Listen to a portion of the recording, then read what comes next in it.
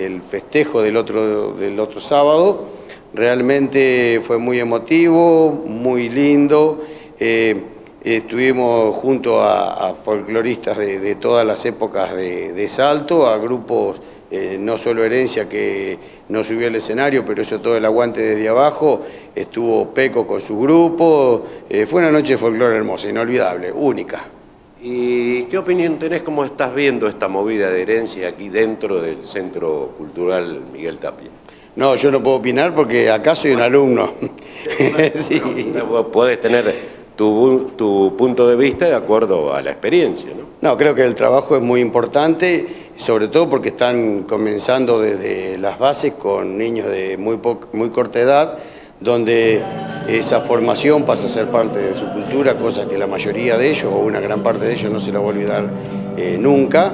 Eh, hay un trabajo en, lo que es danza muy importante, pero sí, también hay un trabajo pedagógico eh, atrás de ello, de sociabilización, donde está trabajando la PET y la Flaca, como le decimos nosotros, junto a Ivo, que hay que contener un grupo tan importante, y en el grupo de mayores que que vienen a aprender, no hay ningún tipo de condicionamiento, aceptan de cualquier edad, y en los que están bailando dentro del, ballet, Ivo nos exige demasiado, nos lleva medio como de tiro con, con exigencias que algunos ya pensábamos que no las podíamos hacer más, pero debido a la insistencia y su, su tosudez, nos hace hacer muchísimas más cosas de las que pensábamos o pretendíamos qué yo, el caso de Gerardo, Maylin, César Castiglioni, ahora está viniendo Enrique Rastelli, que, ya estábamos medio con los botines colgados, eh, nos hizo entrar otra vez en la danza y bueno, acá estamos haciendo para algunas veces papelones y a veces qué sé yo.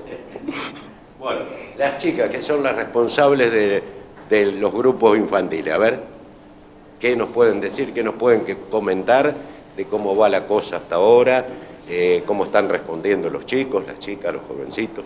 Los chicos responden bastante bien, tenemos armados dos grupos, uno que viene del año pasado ya formado y uno con los niños nuevos, eh, de 2 a 12, 13 años, eh, son las edades que vienen.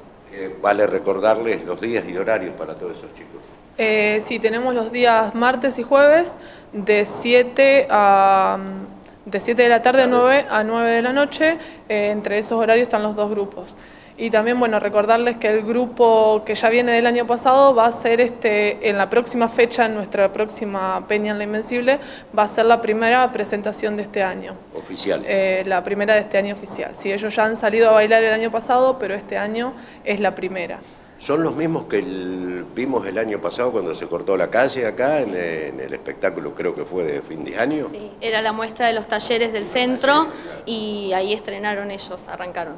Fue la primera presentación. Y de ahí a hoy hubo mucho progreso, imagino. Hicimos, sí, hicieron otra presentación, fueron adelantando, incorporando un montón de cosas y bueno, ahora vamos a ver cómo están para la próxima... A todos a festejar la segunda fecha de nuestro aniversario, van a ser algunas noches nada más donde queremos compartir con amigos que fuimos eh, sembrando y cosechando ahora a lo largo del, camino, del camino este por la danza por tantos lugares, que vienen a, hacer una noche más, ahora es el 24 de junio, también en La Invencible, donde va a estar Mensajes, el grupo El Bandoneón de los Copla, va a estar desde La Rabiosa, eh, los dueños, desde, desde Ramallo, desde la Peña La Rabiosa, los dueños de la Peña acompañándonos a nosotros, Hugo Becerra, de acá de Salto, eh, Nuestra Señora del Mate, que es el ballet de Arroyo Dulce, y nosotros muy contentos por la primera participación de Herencia Joven, que son los chiquititos.